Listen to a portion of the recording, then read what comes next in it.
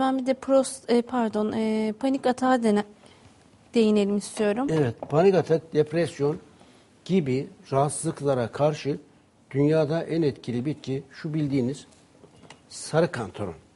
Sarı kantaronun birleşiminde hipeforin denen etken bir madde var. Hipeforin sadece yüzde bir oranında basit stres, üzüntü, sıkıntı gibi gerilimlerde Okul öncesi. sarı kantaron yeterli olabilir. Fakat ağır vakalarda sarı kantaronun birleşimindeki etken madde yüzde bir olduğu için mutlak surette trajesinin kullanılması gerekir. Sarı kantaron.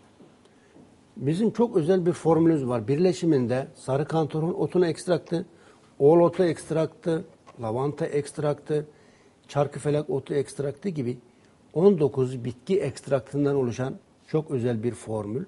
Kişi bunu kullandığı zaman relax, rahatlar.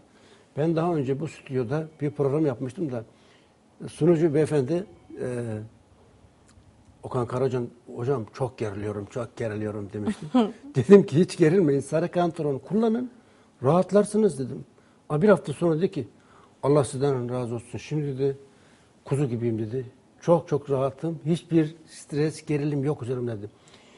Sarı kantaron ilkokuldan üniversiteye kadar herkes yani okul çağında okuyan, araştıran, inceleyen herkes kullanırsa iyi olur. İmtihana giren.